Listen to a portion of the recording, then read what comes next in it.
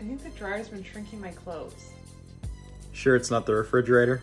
As I walk through the valley of the shadow of death, I take a look at my life and realize there's nothing left. Cause I've been blasted.